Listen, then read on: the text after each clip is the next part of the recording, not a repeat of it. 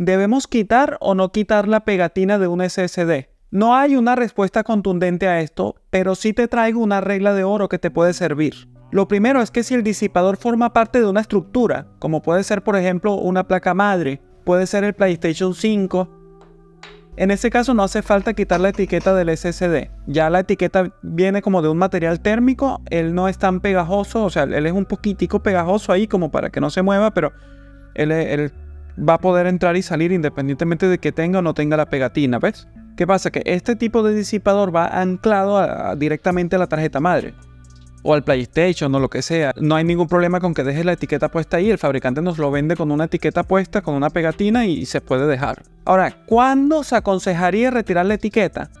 Cuando vas a usar un disipador de estos que no forman parte de una estructura, sino que va a estar pegada del propio SSD. Primero tiene que ser un disipador liviano. Este, por ejemplo, pesa 5 gramos. Máximo 11, 12 gramos. ¿Cómo es eso? Bueno, si yo lo voy a montar, por ejemplo, aquí. O sea, el SSD va a estar aquí puesto. ¿Verdad? El SSD va a estar aquí puesto y, bueno, obviamente aquí lleva un tornillo. Y él va a estar, imagínate, va a estar siempre pegado al disipador del SSD. O sea, donde esto vaya, el disipador va a estar pegado. El, el SSD por sí mismo, el disipador va a formar parte del SSD. En ese caso es una modificación que estamos haciendo más que una instalación. Algunas marcas te permiten hacer esta modificación sin quitarte la garantía porque tienen la garantía en la parte de atrás. Otras no, revisa eh, tu SSD a ver si te lo permite. Pero la regla de oro sería más o menos así. Si forma parte de una estructura, no hace falta quitarla. Y si vas a hacer una modificación metiendo tu disipador propio con thermalpad de estos que traen pega, lo mejor sería si quitas la etiqueta y así queda directo. Por cierto, este es el Hynix. Le quiero hacer otras pruebas con los disipadores más pesados, lo quiero poner a hacer.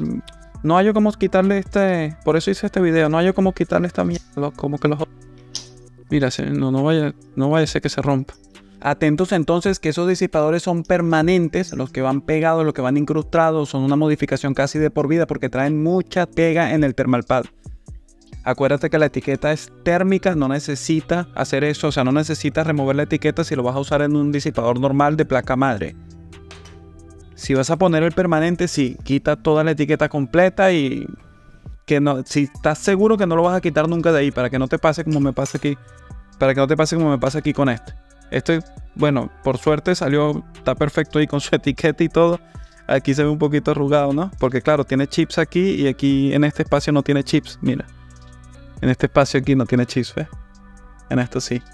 Y bueno, ahí, ahí queda. Le voy a poder hacer las pruebas en, la tarjeta madre con su estructura. Aclarando cosas sobre pegatinas, no te olvides de quitarle este plastiquito al thermalpad. Por si acaso, no, no, no te estoy subestimando, pero estas cosas se olvidan.